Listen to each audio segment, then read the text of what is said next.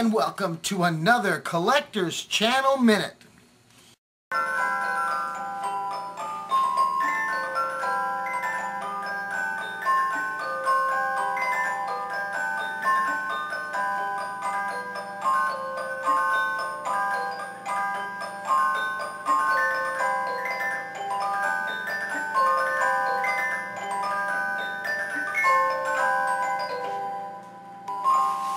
This is another automaton by Roullet-Decamps. It's known as the Cambodian Dancer.